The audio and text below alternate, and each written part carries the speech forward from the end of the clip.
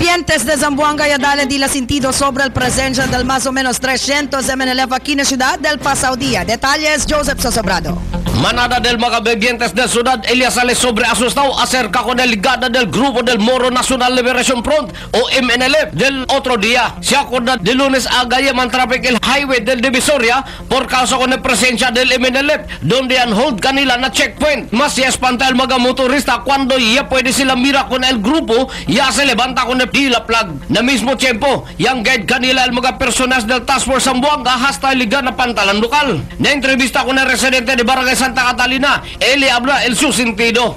Siyempre, si Mangkuan que el mga gente también react, que también quiere. Ah, otro po, otro, pens, otro también kasi pensa, kaya ang happen ka natin, como like, kanamo, from Santa Catalina.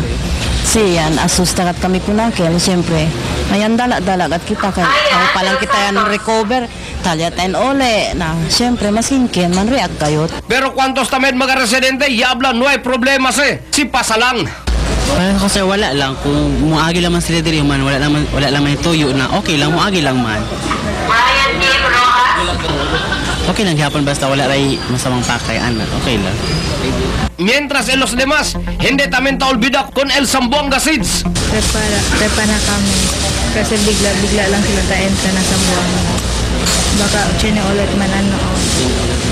Kasagera. Notable na bisinira del pantalan lokal, bien guardiao el mga miembro del MNLF na mga personas del Task Force Zamboanga para puede mantener el pase orden.